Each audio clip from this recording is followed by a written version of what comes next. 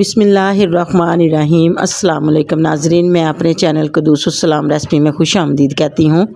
उम्मीद करती हूँ कि आप अल्लाह ताला के फजल करम से खरीत से होंगे। आज मैं आपके लिए बहुत ही ज़बरदस्त लंच में दाल चावल की रेसिपी शेयर कर रही हूँ। बहुत ही आसान और यूनिक तरीके से रेसिपी बनाना बता रही हूँ। ज़्यादा देर किचन में नहीं रहना कर रहा होना पड़ेगा। अब सिर्फ़ पंद्रह मिनट में ये रेसिपी तैयार हो जाती है। रेसिपी अगर आपको अच्छी लगे तो लाइक और शेयर ज़रूर करें। मेरे चैनल पर नए हैं तो चैनल को सब्सक्राइब कर लें। साथ बेल आइकन को प्रेस करें ताकि मैं जो भी नई वीडियो अपलोड करूँ उसका नोटिफिकेशन सबसे पहले आप तक पहुँचे। अगर पहले से सब्सक्राइबर हैं तो तय दिल से शुक्रगुजार हूँ। आए रेसिपी शुरू करते हैं। आज मैं आपके साथ बहुत ही ज़बरदस्त लंच की रेसिपी लेके हूँ मसूर की दाल और सात बॉयल चावल।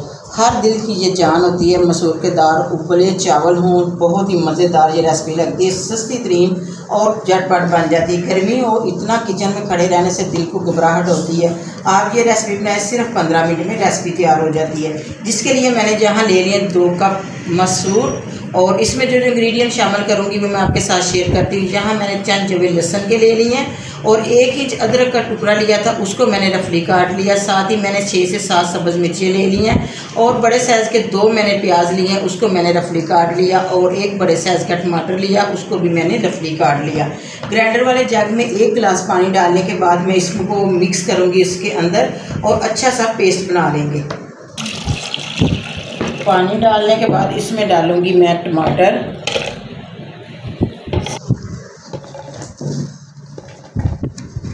अब आप इसको ग्राइंड कर लेते हैं।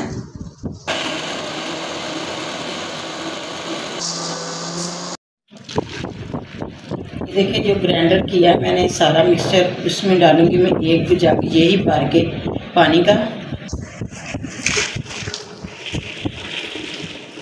इसमें दो लीटर हमने पानी डाला है, अभी दो लीटर पानी नहीं होगा। यहाँ देखिए, माशाल्लाह, दो लीटर पानी चला गया है इस प्रेशर कुकर के अंदर। इसी के साथ मैंने दाल को अच्छी तरह चुन लिया और चुनने के बाद वाश करके इसमें डालूँगी। ये देखिए, बहुत ही आसान और शॉर्टकट तरीके से मैं आपके साथ रेसिपी शेयर कर रही हूँ। गर्मी में किचन में ज़्यादा देर खड़े रहते हो खाने को कुछ दिल नहीं करता, लेकिन ये बहुत सादा गज़ा और आसान तरीका।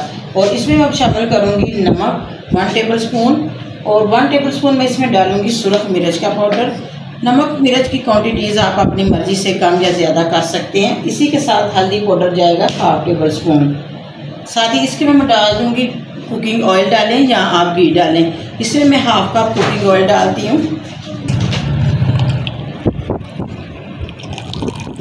अब हम इसको चम्मच की मदद से अच्छी तरह मिक्स करेंगे और पकने के लिए रख देंगे। फ्लेम मीडियम टू हाई पे रखेंगे क्योंकि ज़्यादा हमने फुल हाई नहीं रखना।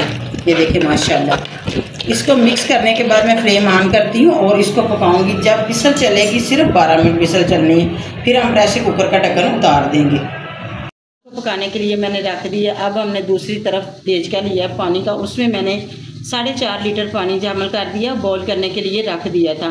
तीन गिलास मेरे पास चावल है, उसको मैंने अच्छी तरह वाश किया और आधा घंटा हो गया मैंने इसको भगो के रख दिया है। अब इस पानी में मैं डालूँगी थ्री फोर से टेबल स्पून कुकिंग ऑयल देखिए, माशाल्लाह, बहुत ही सादा गज़ा मैं आपके साथ बनाना, बता रही हूँ। गर्मी का मौसम है, मसाला जात बिल्कुल कम ऐड करेंगे इसमें। किचन की चीज़ों से हम ये रेसिपी तैयार कर रहे हैं। इसी के साथ मैं डालूँगी नमक। नमक मैं थ्री टेबल स्पून डाल रही हूँ। आप अपनी मर्ज़ी से कम ज़्यादा कर सकते हैं। क्योंकि ऊपर से हमने पानी उतार लेना, थोड़ा सा नमक ज़्यादा डालेंगे तो फिर ही टेस्ट आएगा।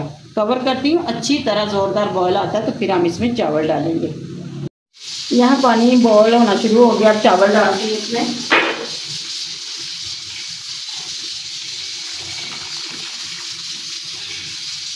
बस हम पाँच मिनट तक उबलने के लिए रख देंगे। एक बार मिक्स करेंगे बार बार हम चम्मच नहीं हिलाएँगे मिक्स करके इसको कवर करती हूँ और पकने के लिए छोड़ देती हूँ।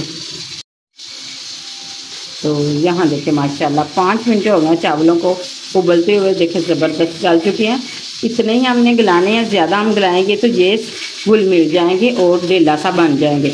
अब हम इसके ऊपर से पानी उतार लेते हैं। पानी उतारने के बाद हम मीडियम टू लो आँच पे इसको दम पे रखेंगे दस मिनट के लिए, फिर मिलते हैं।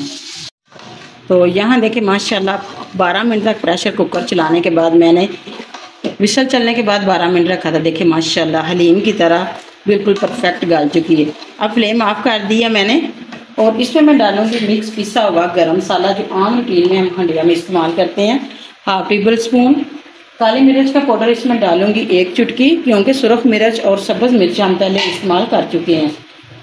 और अब यहाँ डालूँगी मैं टू टेबल स्पून सब्ज़ धनिया।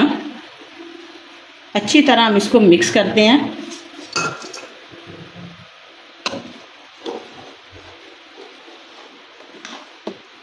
और थोड़ी देर रेस्ट पे छोड़ते हैं, फिर डिश आउट करते हैं। दूसरी तरफ़ हमारे चावल भी माशाल्लाह दाम पे थे, वो भी तैयार हो चुके हैं। दो सब्ज़ मिर्चें डाल दी हैं।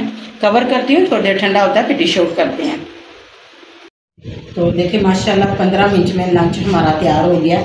यहाँ देखिए, माशाल्लाह दाल ज़बरदस्त तैयार हुई है। आपने भी इस तरीके से बनानी है और मुझे कमेंट सेक्शन में बताना है कि आपको मेरा ये तरीका कैसा लगा है। और इस तरह चावल बॉल किए हों और ऊपर दाल डालें, देखिए, माशाल्लाह। गली भी हुई है और दाना दाना अलहदा अलहदा भी नज़र आ रहा है। और साथ चावल देखे, माशाल्लाह, बिल्कुल दाना दाना है। इस तरह मिक्स करके खाएँ। बच्चे, बड़े सभी ये शौक से खाते हैं। ये देखिए माशाल्लाह, बहुत ही यूनिक और आसान तरीके से मैंने किचन में गर्मी में ज़्यादा देर ना रहना पड़े। इस आसान तरीके से रेसिपी आपके साथ शेयर की है। उम्मीद है कि आपको रेसिपी बहुत ज़्यादा पसंद आएगी। अगर आपको मेरी रेसिपी अच्छी लगे तो प्लीज़ लाइक और शेयर ज़रूर करें।